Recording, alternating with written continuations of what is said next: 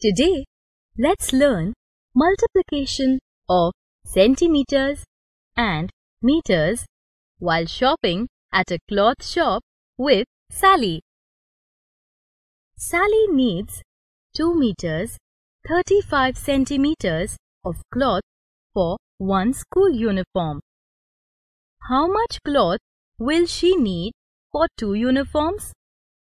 It is easy to find the answer as we already know the multiplication rules. Come on, let's start. First, write the numbers in the meter and centimeter columns. Now, multiply the digits in the centimeter column. Multiply the digit in the ones place with the multiplier that is 2 into 5 is equal to 10. Now we need to regroup 10 ones as 1 10 plus 0 ones.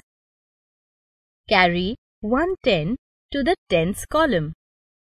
Write 0 in the ones column. After that, multiply the digit in the tens place that is 2 into 3 is equal to 6.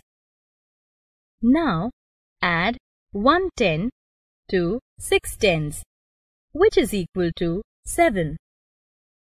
Next, multiply the digit in the meter column with the multiplier that is 2 into 2 is equal to 4.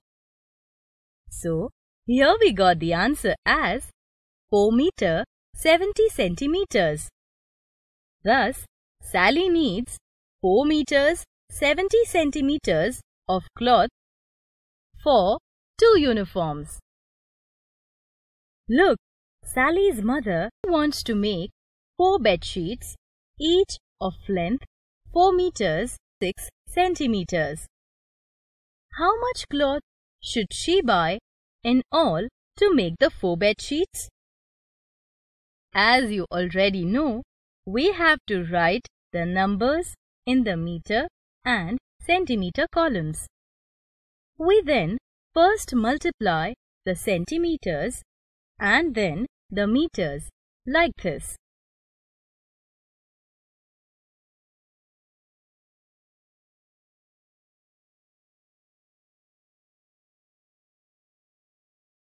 So, here we got the answer as 16 meters 24 centimeters.